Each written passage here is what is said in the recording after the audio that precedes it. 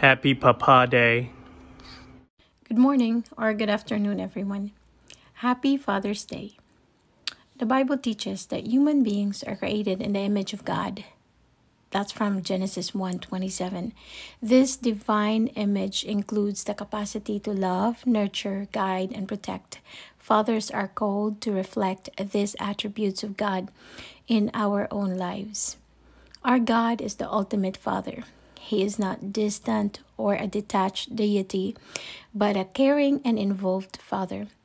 One of the fundamental aspects of fatherhood is the responsibility to provide and protect. In Matthew 7 9 to 11, Jesus says, Which of you, if your son asks for bread, will give him a stone, or if he asks for a fish, will give him a snake. If you then, though you are evil, know how to give good gifts to your children, how much more will your Father in heaven give good gifts to those who ask him? Just as earthly fathers provide for their children, our heavenly Father provides for us abundantly. Ephesians 6 4 instructs Father, do not exasperate your children, instead, bring them up in the training and instruction of the Lord. Godly fatherhood involves teaching and disciplining children with love and patience. Proverbs 3 11 12 My son, do not despise the Lord's discipline and do not resent his rebuke, because the Lord disciplines those he loves as a father the son he delights in.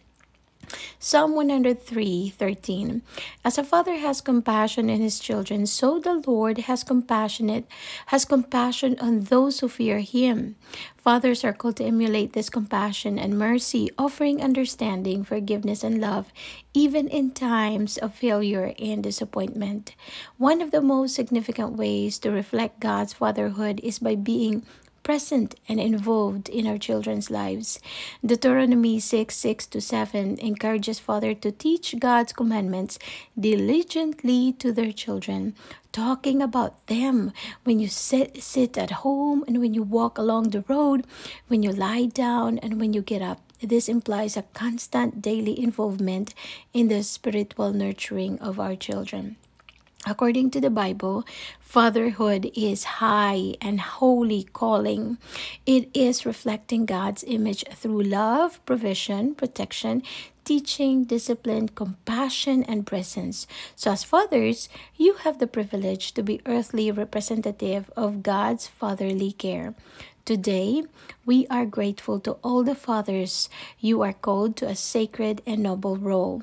You are leaders, you are providers, you are protectors, you are teachers, you are compassionate. You are role models. You are resilient and you are beloved. Stand strong in your calling, knowing that God equips you with all you need to fulfill your responsibilities, walk confidently in His grace, lead with His wisdom, and love with His heart. You are a father, and your impact is immeasurable. We honor you, we support you, and we pray for you. In Jesus' mighty name, Amen.